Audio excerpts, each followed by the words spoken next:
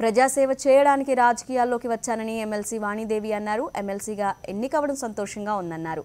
మండలి చైర్మన్ కార్యాలయంలో protem chairman Bhupal Reddy వాణిదేవితో ఎమ్మెల్సీగా ప్రమాణ స్వీకారం చేయించారు. రంగారెడ్డి మహబూబ్ నగర్ హైదరాబాద్ పట్టభద్రుల ఎన్నికల్లో టీఆర్ఎస్ నుంచి వాణిదేవి విజయం సాధించారు.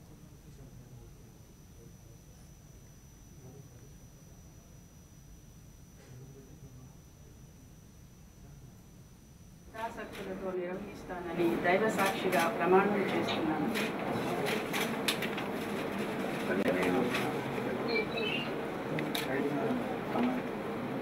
సురభి వాణీదేవి అని నేను తెలంగాణ శాసన పరిషత్తు సభ్యురాలినైన నేను.